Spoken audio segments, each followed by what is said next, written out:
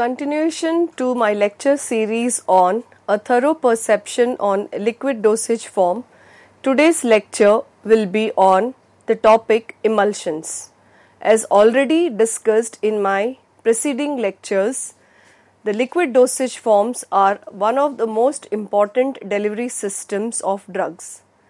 As already discussed with context of types of liquid dosage form monophasic and biphasic and biphasic liquid dosage forms being solid in liquid type as already discussed for oral use suspensions and currently the topic in progress being liquid in liquid type biphasic dosage forms meant for oral use emulsions. So, as already discussed in the preceding lectures with respect to emulsions, the learning outcomes out of the lecture series on biphasic liquid dosage form emulsions, we have already covered definition of emulsions, classification of emulsions, emulsifying agent. Today's lecture would be on discussion with respect to tests for identification of type of emulsions and method of preparation of emulsions. In one more lecture, which would be a successive lecture, the discussion would be on stability problems and methods to overcome the stability problems. So, in continuation with the topic of test for identification of type of emulsions, it is very important to have certain parameters to identify the type of emulsions. As already discussed, emulsions can be of oil in water type or water in oil type depending upon the proportion of continuous to discontinuous phase. It becomes important to identify the type of emulsion which is ultimately formed for which we have exclusively certain identification tests.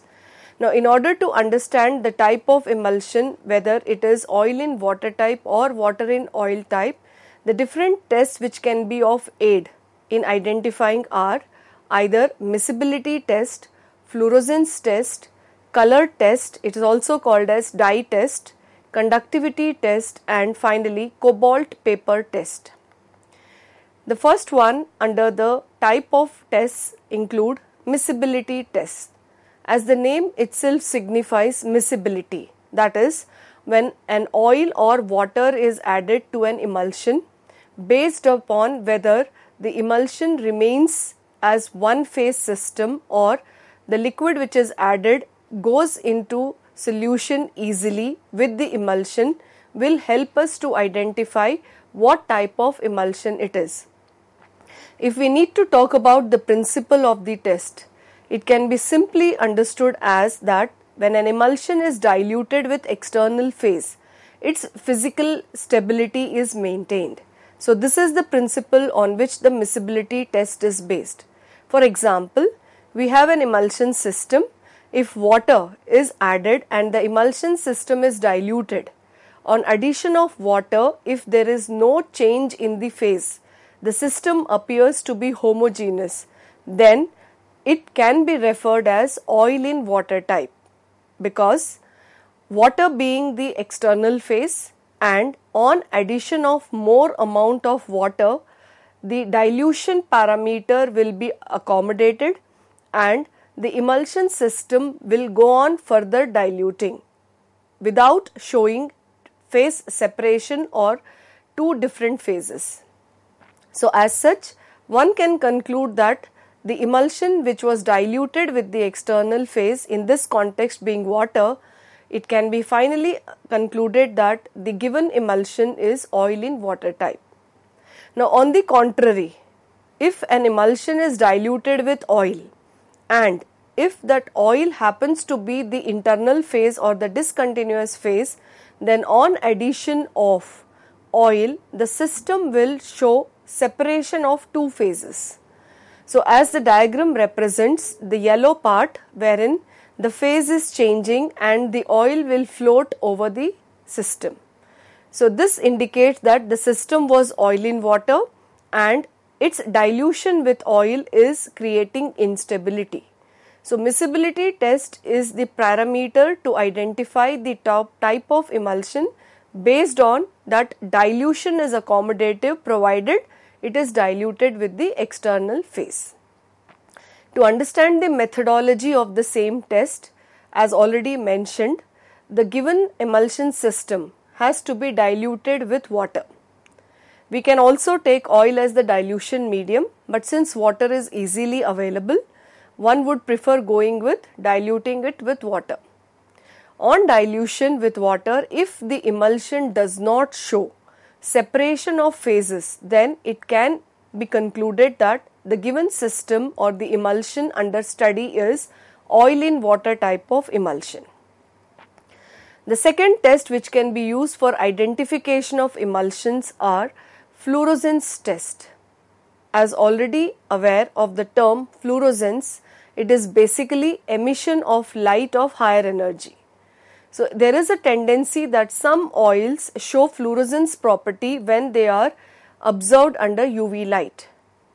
So, the diagram shows pictorial picture wherein some slides wherein a droplet of oil or the emulsion system is taken and if a suitable oil which has the property of show fluorescence is observed under the microscope, you will be able to see the color, the color due to fluorescence. So, based on this principle, one can identify the given type of emulsion system. So, the methodology is emulsion which is to be identified is taken as a drop on a slide and it is exposed to UV light and observed under the microscope. Provided oil is discontinuous phase, one can observe when seen under the microscope, it appears as colored globules or colored droplet against uncolored background. So, when the droplets are scattered colored, this indicates that it reflects discontinuous phase or the internal phase. Thereby, one can come to the conclusion that oil is the internal phase, hence, the emulsion system can be referred as oil in water type.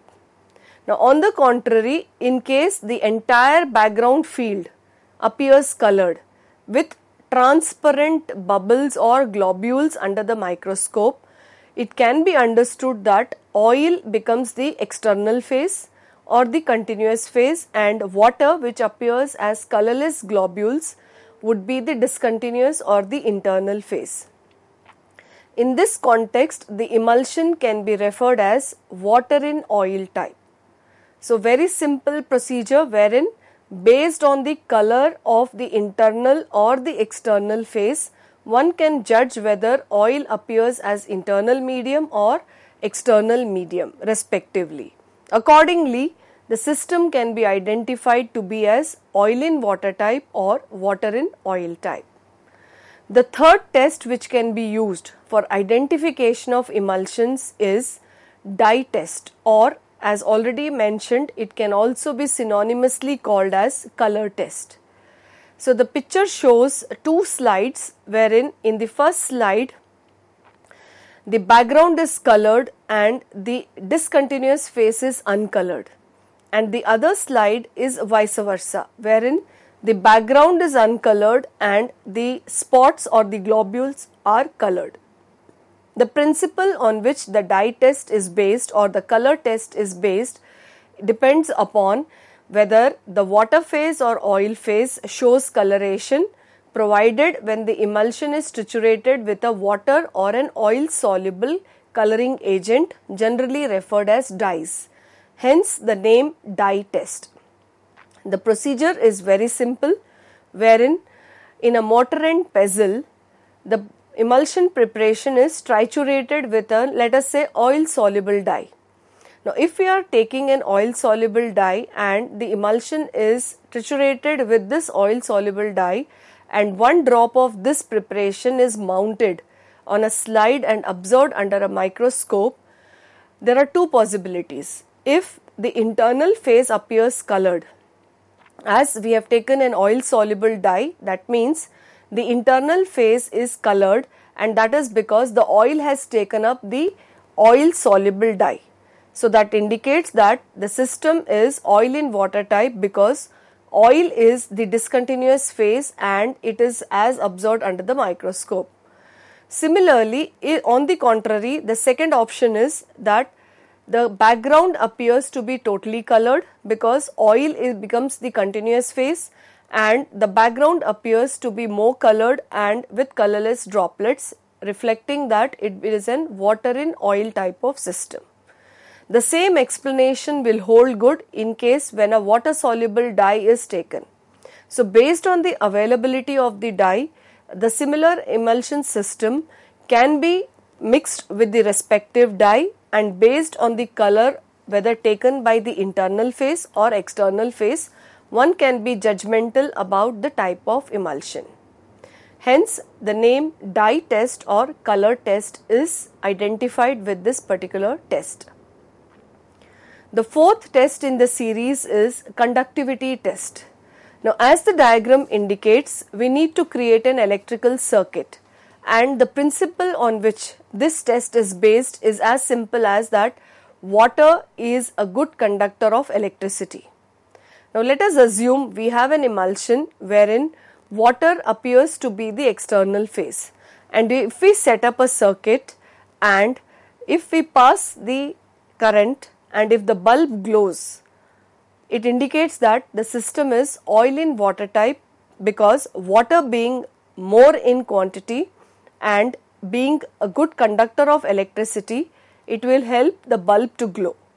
And on the same lines, if the bulb does not glow, then the system can be identified to be water in oil type because oil becomes the continuous phase and oil is a non-conductor of electricity.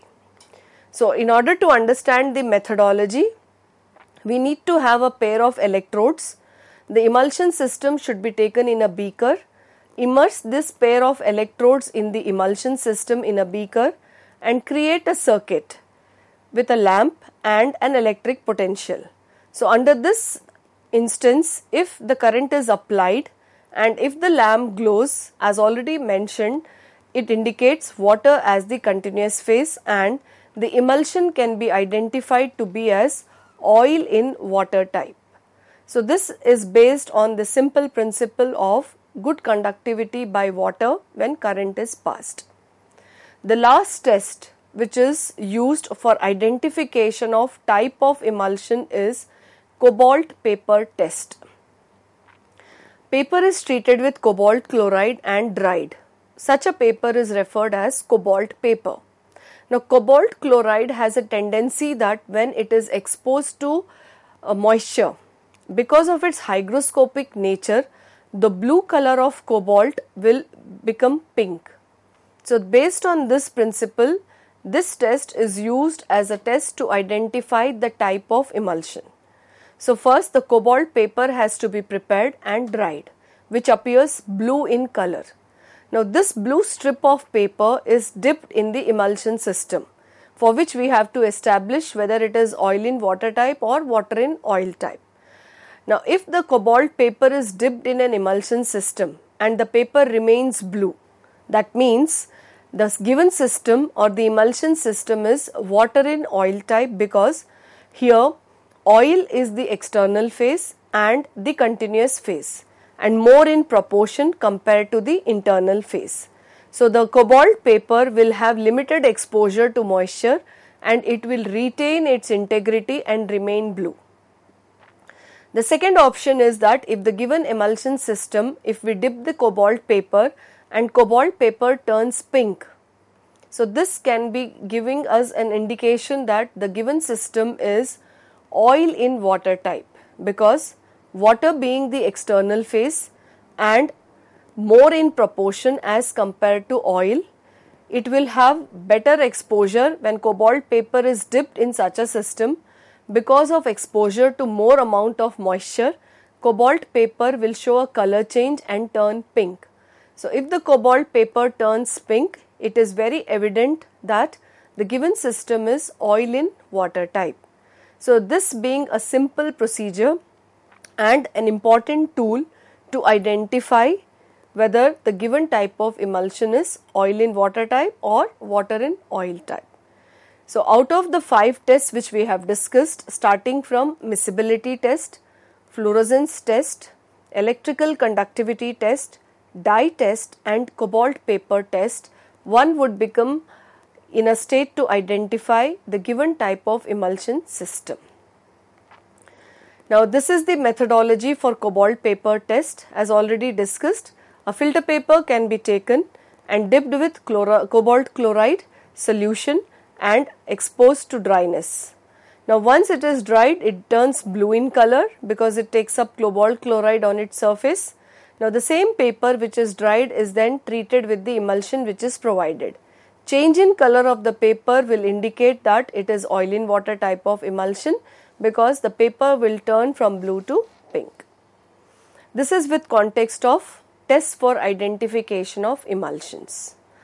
The next parameter or the next learning outcome under the topic emulsion is with respect to method of preparation.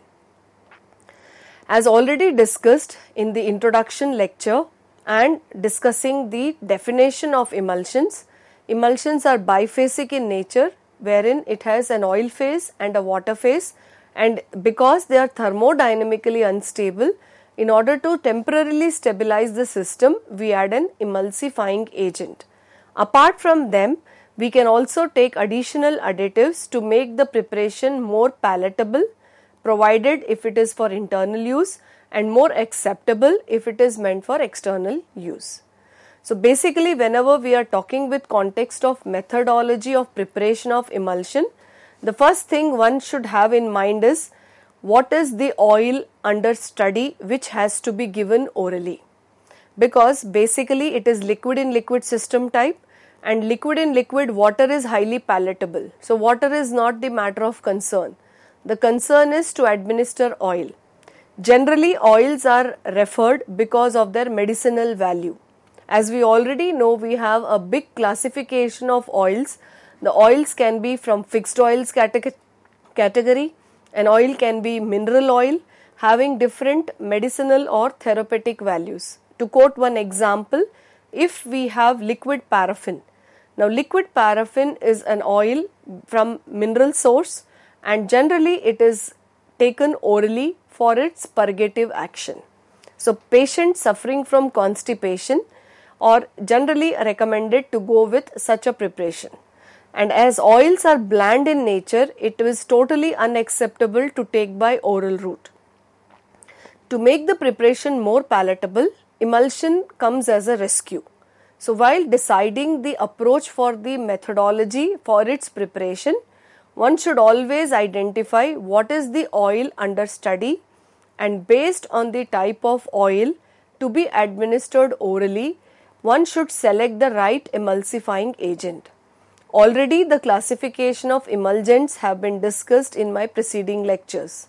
So the basic components to be decided in order to formulate an emulsion are what is the drug in case we have an additional drug which is oil soluble and for which we need to take an oil along or sometimes it might just have oil as the drug itself. So the first criterion to be understood is whether we need to administer oil as such as a drug or oil becomes a vehicle to carry the drug which is of medicinal value. Apart from that, we need to select critically additives. Now, additives is a very broad term which includes, of course, water because emulsions are biphasic liquids. So, one phase being oil, the other being water, and the selection of the correct emulgent or the emulsifying agent. So, keeping this in view, we need to approach with the methodology. So, first comes drug. Now, either the drug could be oil itself or it could be a different entity altogether. Now, if we are working on a drug which is oil soluble, we need to first select the suitable oil in which the drug is suitable. And at the same time, the ratio proportion of oil which we are going to consider and the nature of oil has to be critically judged because oils taken in excess quantity may have its own effect in the body. And secondly, it has to be palatable because it's oral route of administration and at the same time the viscosity of the preparation also will be of concern. And as already mentioned as a rule of thumb, Generally, when emulsions are intended for oral use, oil in water type of systems are preferred. The reason being, water being the continuous phase can be suitably colored, suitably flavored, and the palatability or the patient acceptability can be improved. So, for that reason, always oral preparations, especially emulsion dosage form, are preferred are oil in water type. So, here the ratio of oil should be very less compared to the ratio of water. So, selection of oil is a very very critical parameter in preparation of emulsions. Second criteria to be understood while selecting the drug is if it is a drug other than oil then it should be also understood that the drug should go into solution state in the oil. It should never remain insoluble because these are clear preparations, they are clear liquid preparations. So, this is a challenge for a formulation chemist to select the right drug if the route of administration is oral and the choice of delivery system is an emulsion. Apart from having selected drug, the next criteria for selection is oil phase. Now as already mentioned, if it is the drug itself, then we have already understood that what are the parameters. But if we are selecting an oil in addition to a drug, which is the second component, then we need to understand what is the therapeutic value of the oil or is it meant as just a vehicle or a carrier of the drug. So one has to be very clear to understand whether this is going to show an action on its own or it is just a medium.